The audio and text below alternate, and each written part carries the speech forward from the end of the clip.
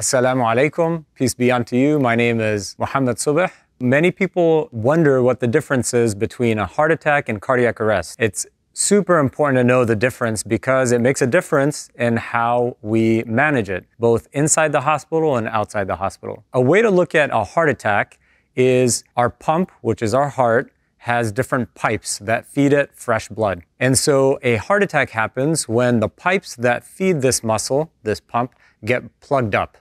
And so the pump just cannot work adequately. Some of the muscle can die off, then you can develop different symptoms, including chest pain, shortness of breath. You're usually awake and alert, and you're able to tell folks that you're having, um, having a problem, that you're having pain or lightheadedness or shortness of breath, or you're starting to swell up in your legs. The uh, difference uh, between a heart attack and a, cardi- a sudden cardiac arrest uh, is really in terms of what's happening to the electricity of that heart, the pump.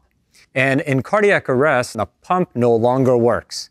It stops. And what happens is we pass out. No blood flows to our brain and we're unconscious. But the most important thing we can do as bystanders, as people who witness someone going into sudden cardiac arrest, is call for 911, get an AED as quickly as possible, and attach it to the uh, to the person who's collapsed and start chest compressions. And we know that's the highest impact in saving that life.